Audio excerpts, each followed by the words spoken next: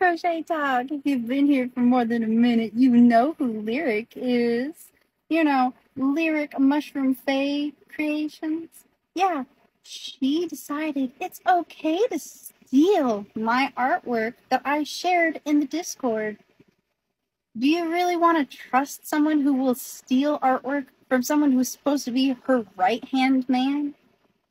If she'll steal from me, how do you know she's not going to steal from you?